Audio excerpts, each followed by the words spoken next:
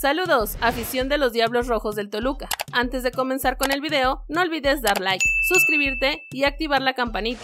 Sin más por el momento, iniciamos. Toluca tendría plan B en Brasil. Reportan medios cariocas que los Diablos Rojos sondean a futbolista propiedad del Palmeiras. Hace unos días se dio a conocer el interés de Toluca por hacerse de los servicios de Rodrigo Aguirre, delantero de Monterrey, para que sea uno de sus atacantes para el torneo Apertura 2023. Sin embargo, ante el retraso en la respuesta por parte de la institución regiomontana, los Diablos ya estarían explorando opciones para cubrir sus espacios vacantes. De acuerdo con medios brasileños, el equipo de la capital mexiquense estaría sondeando la situación contractual de Rafael Elías da Silva, delantero que pertenece al Palmeiras, pero que en el más reciente año futbolístico militó en los Emiratos Árabes Unidos, con FC Vanillas. El delantero de perfil derecho de 24 años concluye su préstamo con la institución emiratí el próximo 30 de junio. En dicho club participó en 20 compromisos, logrando 7 goles y 2 asistencias. En toda su carrera ha sumado 23 goles en 86 partidos con 6 diferentes clubes. De acuerdo con Transfer Market, el valor del futbolista brasileño ronda los 3 millones de euros, cifra que sería accesible para el Deportivo Toluca, de acuerdo con las cifras que se han manejado para el fichaje de elementos para la plantilla de Ignacio Ambriz. Por otro lado, Toluca no ofertó a Rayados por Rodrigo Aguirre. Desde los Diablos Rojos del Toluca confirmaron a México que, a pesar de los rumores, el club no ha enviado una oferta formal a Rayados de Monterrey por el delantero uruguayo Rodrigo Aguirre, de 28 años. Aunque es posible que haya habido interés o consulta sobre la situación del jugador Charrúa, no se ha presentado una propuesta oficial por él. El ofensivo tiene un contrato vigente